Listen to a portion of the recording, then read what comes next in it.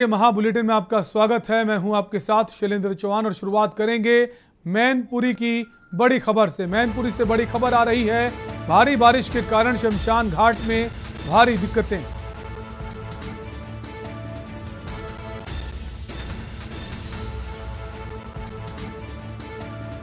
शवों का अंतिम संस्कार खेतों में करना मजबूरी।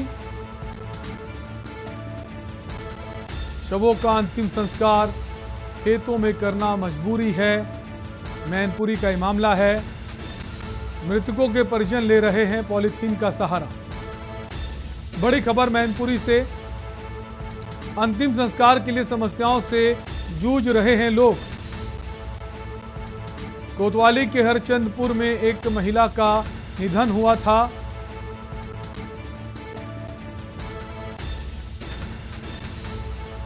आप तस्वीरों में देख सकते हैं, भारी बारिश के कारण शमशान घाट में भारी दिक्कतें हैं। लोगों को अंतिम संस्कार करने के लिए मुसीबतों का सामना उठाना पड़ रहा है। तस्वीरें हैं कि बारिश का पानी भरा हुआ है। अंतिम संस्कार के लिए लोग किस तरह से जूझते नज़र आ रहे हैं, ये तस्वीरें बयां करती हैं। मैनपुरी की तस्वीरें हैं। शमशान घाट में बारिश का पानी भरा हुआ है और जिसकी वजह से लोगों को भारी मुश्किल का सामना करना पड़ रहा है, अंतिम संस्कार करने के लिए भारी दिक्कतें उठानी पड़ रही हैं और लोग पॉलीथीन ले जाकर अंतिम संस्कार कर रहे हैं जल जमाव की वजह से।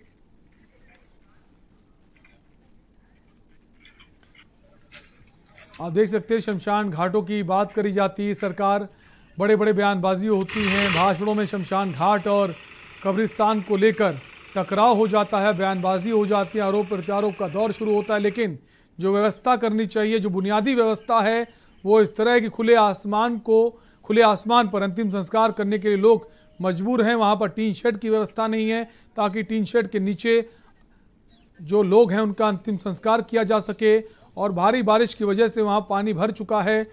लोग अंतिम संस्कार वहाँ पर नहीं कर पा रहे हैं। तो सरकार की नाकामी झलकती है। साफ़ तौर पर सरकार जो है बड़े बड़े दावे करती है, वायदे करती है, लेकिन धरातल पर ऐसा कुछ नज़र नहीं आ रहा है।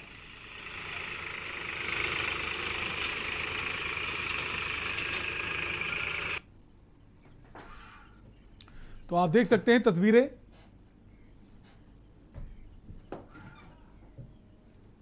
मैनपुरी की तस्वीरें हैं, जहाँ पर शमशान घाट में पानी भरा होने की वजह से लोगों को इतनी मुश्किलें उठानी पड़ रही हैं कि पॉलीथीन सर पर लगाकर लोग अंतिम संस्कार कर रहे हैं।